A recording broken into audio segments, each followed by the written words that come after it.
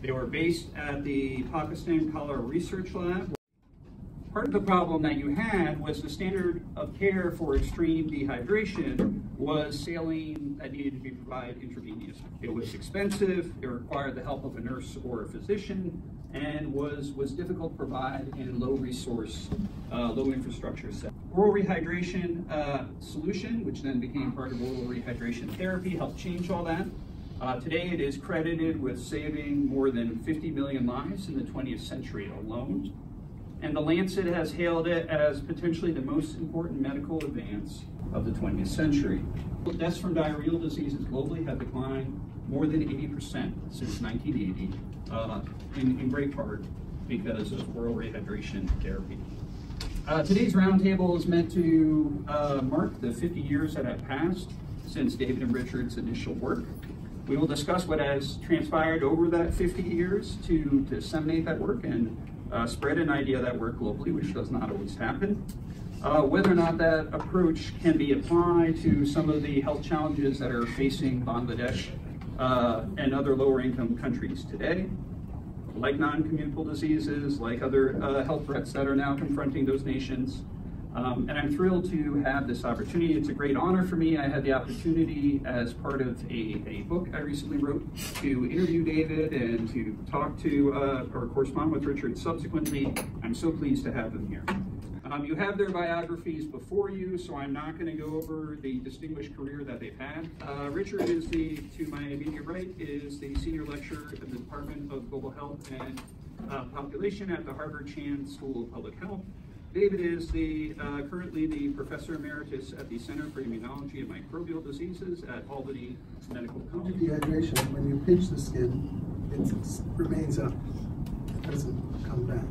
These are basic clinical signs which we use to transform oral rehydration from hospital laboratory testing facilities to the home where the mother would be treating her child, hopefully early in the of Having begun uh, feeding the child the oral solution, and this was the original WHO Oralite containing 90 milligrams of sodium, uh, a very good solution.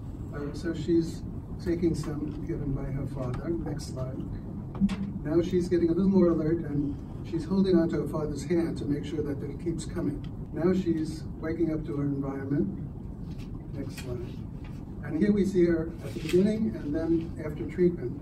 This is the ultimate goal, not to give oral therapy at the very onset of diarrhea before dehydration, when children are taking it, in this case by spoonfuls, and prevent the type of dehydration we saw in the earlier slides.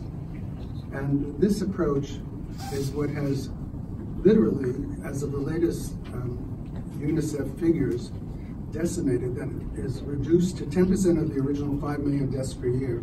The latest figures, uh, last year it was 720,000, and this year it's targeted to reach uh, 500,000, which would be a true decimation.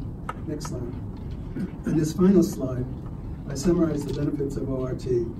First of all, it reduced severe malnutrition called marasmus because the previous treatments, including at Johns Hopkins and Bangladesh, was when a child had diarrhea, you practiced what was taught in medical colleges at that time, starvation therapy. They thought that if you gave anything by mouth, it made the diarrhea worse.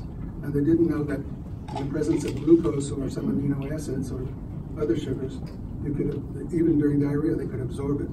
So that reduced um, malnutrition to such an extent that in countries I visited, including notably Jordan and Costa Rica, where the malnutrition ward was right next to the diarrhea ward, after several years, the malnutrition wards in those two countries were closed.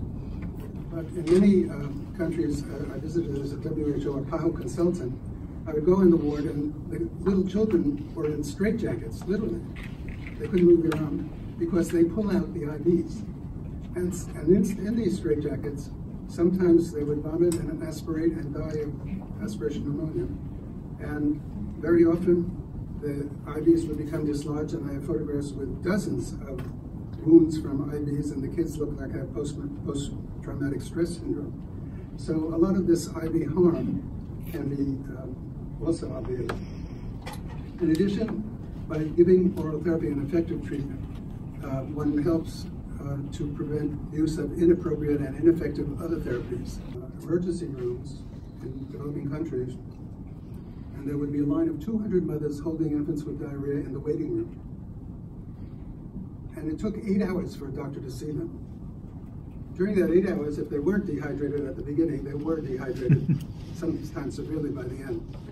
I'm going to uh, uh, look at the whole notion of how do you take this observation and scale it up, both locally and globally, or from one to many. Um, it seems obvious that people would want to take this on, but discovery does not equal implementation. Uh, in the early days, we tried to actually, we were very enthusiastic, uh, to get uh, pharma or Coca-Cola distributors or people who made matches or, or sandals or what have you to distribute this, but we couldn't find uh, much enthusiasm. This was then picked up by Jim Grant, uh, who was head of UNICEF, who developed a program, and his colleagues developed something called GOBI, growth monitoring, G, O, oral rehydration therapy, B, breastfeeding, and I, uh, immunization. And so there were these international movements that saw this as a very positive thing, including USAID, who sponsored a number of major uh, uh, uh, meetings and so on that brought people together. Uh, and after all, the experience uh, in the agricultural community was that it takes about 15 years for an innovation to become widely, uh, widely accepted. Now, one of the problems, of course, with any international organization is they kind of want to do it their way. And so WHO wanted everybody to use their method. They were, they were having packets, and they said, we want these packets to be for 1,000 cc's and so on. Here's uh, one of these kind of packets. This is for 500, and I'll get into that. But ultimately, the acceptance of this is really has to be done nationally or locally. You can have all of the global uh, movements you want, but the actual uh, implementation has to come where the problem is. Um, one of these that I was very involved in is uh, with a uh, NGO in Bangladesh, now actually the world's largest NGO. It's called BRAC, B-R-A-C, and it's actually also been rated number one. Now I'm a little biased. I'm on the board of BRAC USA, but we'll consider that. And the uh, it's a pro-poor, pro-women NGO. Uh, the favorite quote of the director, Sir Fazle Abed, is small is beautiful, but big is necessary. So they were into scaling up. And they developed this method where they would use a three finger pinch of salt and a handful of sugar in 500 cc's, which they showed women how to reach 500 cc's. And over a 10 year period, they uh, literally uh, trained women in their home, not in the clinic, uh, 12 million mothers. And Bangladesh today has the lowest uh, one of the lowest uh, death rates from diarrhea and the highest use rate for ORT.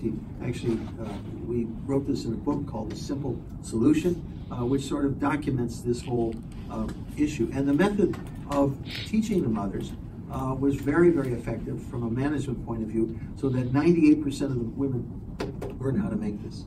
And it became almost part of the folk culture. So you can go to you can go to villages in Bangladesh 10 years 15 years after the mother was taught, and the children will know how to do this. They'll know this method.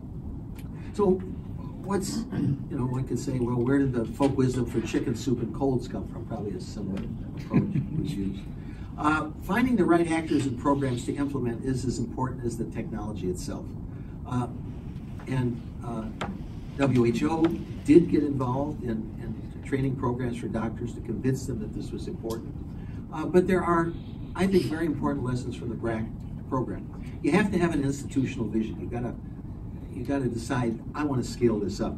And in scaling up, you got to keep things as simple as possible. You have to train people, uh, and you have to uh, get mothers and people in the community involved. As I say, finding the right actors is really important. As David had noted and others have noted, diarrhea deaths have fallen, of which ORT, I'm sure, has played a role, as has immunization and a number of different things. But it's now finding other uses. Uh, in nursing homes, the elderly often get dehydrated uh, uh, because they lose their ability to, uh, to feel dehydration. ORT is effective. ORT, it turns out, uh, is very important in the Ebola outbreak because diarrhea is a major killer. In 19, in 2007, uh, there was a uh, a cholera outbreak in Dhaka, and about 43,000 people were admitted to the institution that we were at.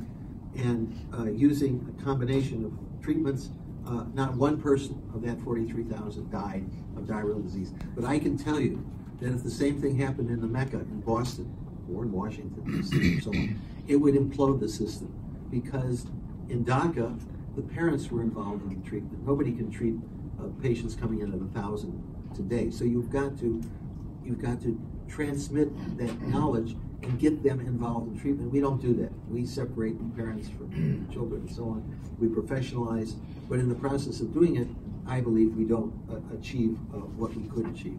I was very heartened the other day.